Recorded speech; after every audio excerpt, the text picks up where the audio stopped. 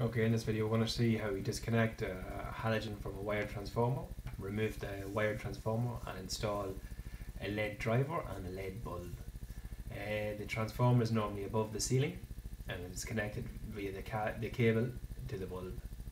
Uh, the tools you need is a pair of snips, a star head screwdriver and a flathead screwdriver. The first thing we need to do is remove the bulb from the ceiling. Be careful with the bulb because it can be very hot. Uh, it's normally best to turn it off for a while and, and, and then remove it. First thing you have to do is go to the fuse box and find the, the appropriate E uh, RCD and turn it off.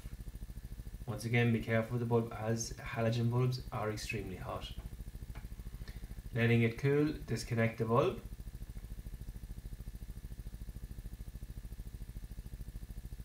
and here you have the transformer. On this side you have the live wires and on this side you have the cable that connects to the bulb. Let's disconnect the cable from the bulb that goes to the bulb.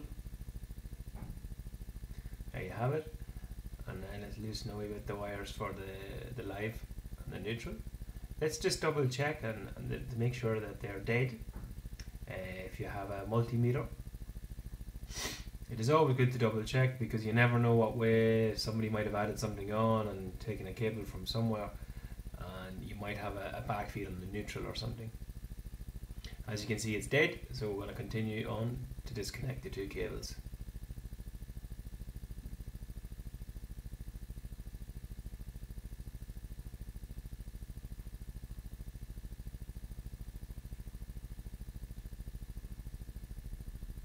I'm going to recut these old terminations off and re-terminate. It's always good to to do this because with pressure, the pressure of screws and connections, sometimes the cables get a wee bit worn. I like to double back my cables, it makes for a better connection and it fills the connector block better.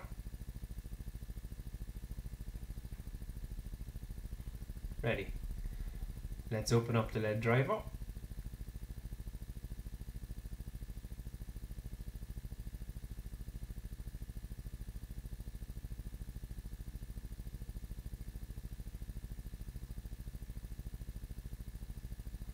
There you go. Okay, you have two sides. The first side you have the picture of the bulb, this is where you connect the cable that goes directly to the bulb. And on the other side, there you go, the cable that's the side for the bulb and there's the live and the neutral What you have to collect. The live is the brown and the neutral is the blue. Okay, let's connect the live and neutral.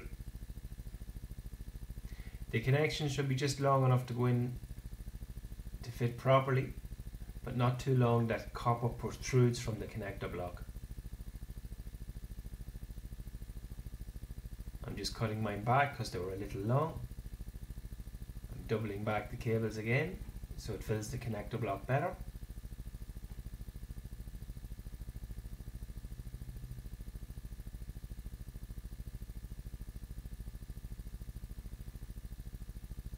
As you can see, no copper is, is protruding and tighten your connections.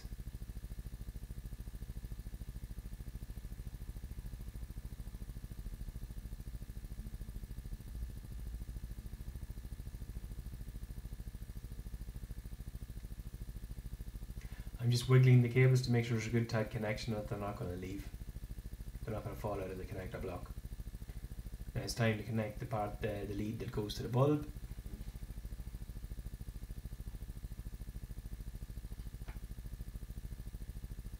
twisted the cables and connecting the same. This LED driver is a 10 watt LED driver so you can actually connect two 5 watt bulbs or 6 watt or anything but you can't connect the total wattage cannot be more than 10 watts. That's connected. Wiggling again, the wiggle test just to make sure the cables aren't loose and then let's put the cover back on.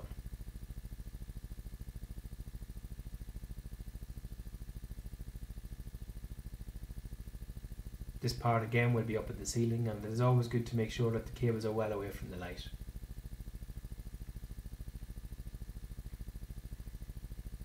This is our LED bulb. This particular LED bulb is a 3 watt LED bulb. It has has 3 by 1 watt LEDs inside. Let's turn back on the power. As you can see the bulb is lit up.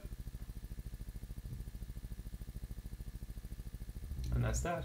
The great thing about LEDs is they run a lot colder. Uh, there's no risk of, of it overheating in the ceiling or anything. So now it's just a matter of installing the light back in the ceiling. And that's that. Quite simple.